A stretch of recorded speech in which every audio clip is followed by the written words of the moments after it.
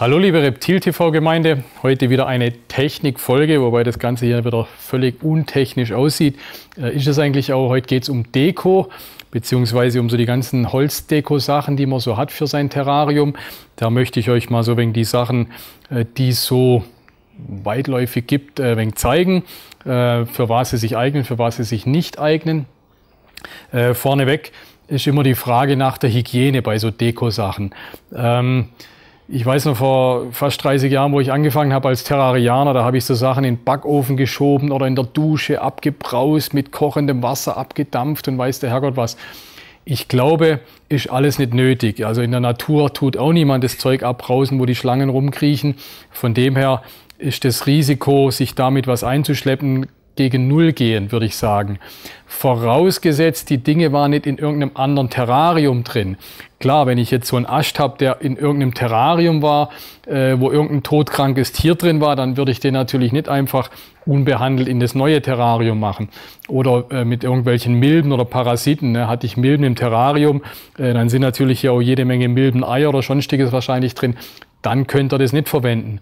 Aber wenn diese Sachen äh, aus der Natur, in Anführungsstrich frisch aus der Natur kommen oder aus dem Handel kommen oder wenn ihr euch die selber im Wald gesucht habt, ja, also ihr müsst das Zeug nicht unbedingt irgendwo kaufen, äh, geht in den Wald und holt euch schöne echte Steine, sonstiges.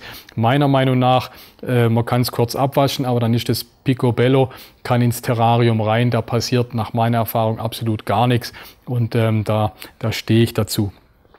Also jetzt Stück für Stück hier von meinen äh, Utensilien. Äh, hier als erstes habe ich so eine Weinrebe. Äh, gefallen mir persönlich super gut, weil die so knorrig sind, so schön groß sind. Für ein Schlangenterrarium toll geeignet.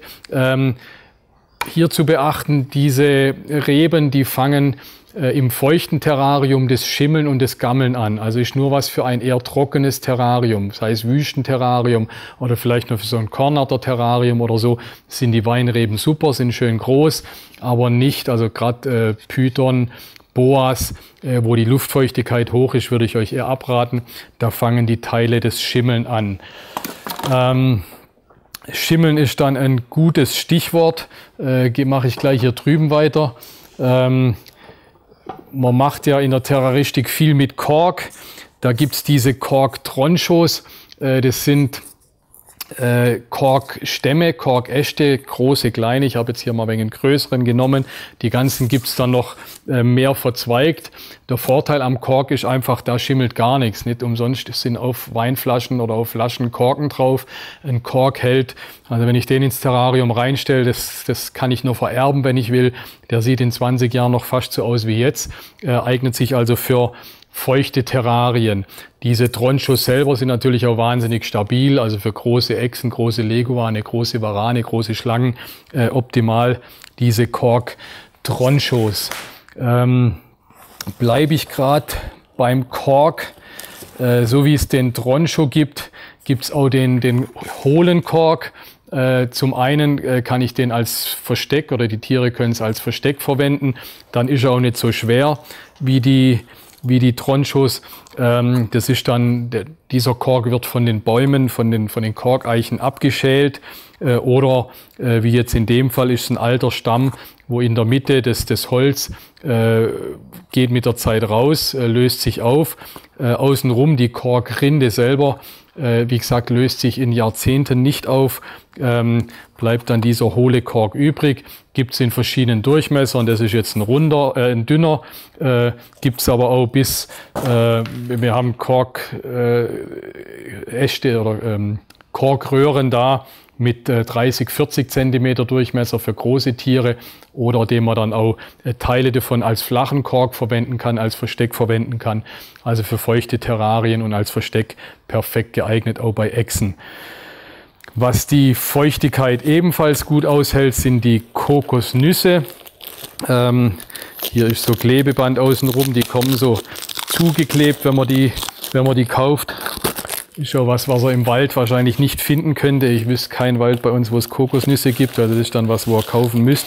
Ähm, die sind innen drin leer hohl, die Nuss ist entfernt. Also habe ich nur dieses, äh, diese Kokosfasern. Ähm, auch ganz guter Feuchtigkeitsspender, die kann ich schön feucht halten. Habe ich ein feuchtes Versteck für meine Tiere. Kokos selber äh, schimmelt oder gammelt auch fast gar nicht. Also kann ich wirklich äh, jahrelang feucht halten, ohne dass das äh, modert oder zerfällt oder sowas. Äh, Habe ich ein schönes feuchtes Versteck für meine Tiere. Äh, dann kommen wir zu den Dingen, die schön aussehen aber auch nicht ganz so witterungsbeständig sind, äh, beziehungsweise so zwischendrin, zwischen den Weinreben, wo ich vorher gesagt habe, und äh, Sachen wie Kork. Äh, das ist so Driftwood. Äh, Driftwood, wie der Name sagt, das ist so angeschwemmtes Holz, äh, kommt aus ähm, tropischen Ländern in der Regel, wird es exportiert, wird dort am Strand aufgesammelt, also äh, auch nichts, was in der Natur fehlt, von dem her eigentlich eine schöne Sache. Sieht immer schön aus, äh, diese äh, vom Wasser natürlich dieses abgewaschene, diese helle Farbe. Äh, das hier ist auch so ein Triftholzstückchen. Äh, ähm, optisch wirklich sehr schön, finde ich selber. ist auch immer relativ groß, also als Kletteräste geeignet. Ähm, allerdings nicht ganz so robust oder nicht ganz so langlebig wie jetzt der Kork äh, ist, den ich vorher angesprochen habe, beziehungsweise hier die Mangrovenwurzel, die ich euch gleich noch zeige. Die sind natürlich bei Feuchtigkeit noch besser. Äh, die, die schwimmen auch für die Leute, die es ins Wasser legen wollen. Das treibt oben. Ähm, Wenn es irgendwas sein soll, was, was untergeht, äh, dann muss ich hier, nehme ich gerade mal raus, wenn ich jetzt schon damit angefangen habe, dann muss ich hier so Mangrovenholz nehmen. Das ist ein ganz schweres Holz. Äh, hält sich Jahrhunderte im Terrarium. Äh, optisch finde ich auch äh, eine Kunst für sich eigentlich. Ne? Da gibt's wirklich super schöne Stücke. Äh, ich kenne Leute, die machen da irgendwelche Dekorationen für die Wohnung sogar draus. Äh, kann ich nachvollziehen. Also mir, ich kann mich auch begeistern für so Holzsachen. Wie gesagt, ist ganz schwer, ist ein ganz massives Holz, schimmelt nicht, fault nicht hält sich im Terrarium jahrzehntelang, beziehungsweise wird auch für Aquarien verwendet, weil das ist so schwer, das geht sogar unter. Ja? Also das, das ist trifft äh, Mangrovenwurzel, sagt man dazu. Dann kommen wir nochmal ähm, auf den Kokos zurück.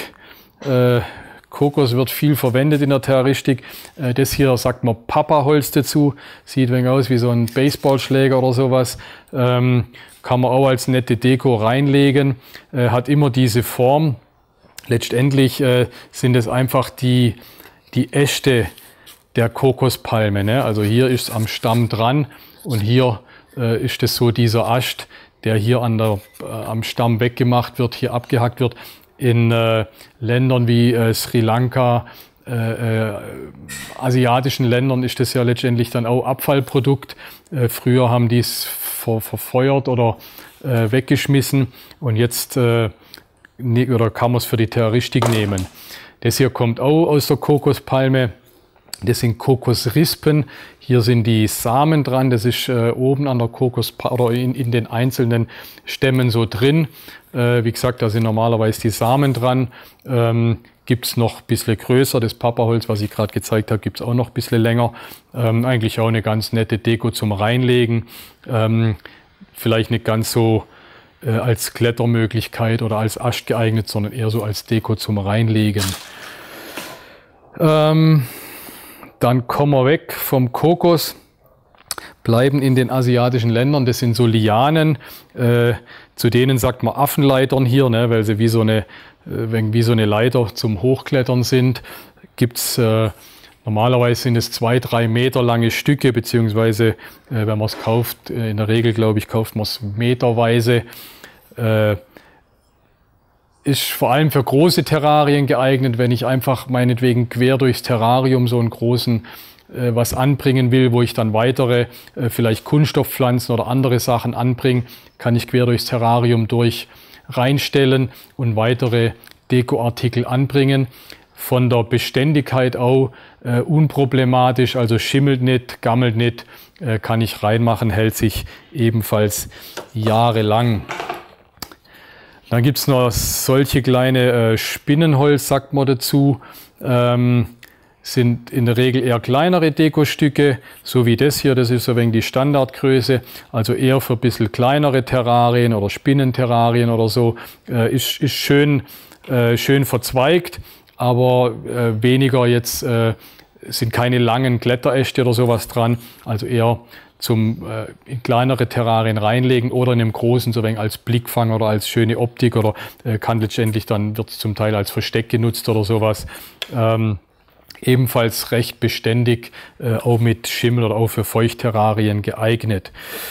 Ich lasse es gerade mal in der Hand, äh, weil jetzt habe ich lauter Holzsachen gezeigt. Wenn ihr euer Terrarium so mit Holz dekoriert, äh, immer noch ein bisschen grün mit dazu machen als kleiner Tipp, weil in dem Moment äh, mache ich alles Holz, sieht alles wegen Trischte aus, wenn es alles so braun ist da drin. Also schon mit bisschen Grün, sei es Kunstpflanzen, sei es echte Pflanzen, mit bisschen Grün auflockern, dann macht es gleich ein schöneres Bild und äh, dann habt ihr eine super schöne Terrarienausstattung. Zum einen ist das Ganze ja für die Tiere da, die sollen sich da verstecken können, die sollen da klettern können, äh, die sollen sich damit wohlfühlen können oder zum Häuten verwenden können. Aber das Terrarium ist ja auch oft ein Blickfang in der Wohnung und wenn ich das natürlich mit so schönen Hölzern einrichte, dann sieht es natürlich auch noch äh, toll aus und, und ist ein Schmuckstück in der Wohnung. Und dazu gibt es diese zig verschiedenen Dekomaterialien, ähm, damit ihr da eurer Fantasie freien Lauf lassen könnt.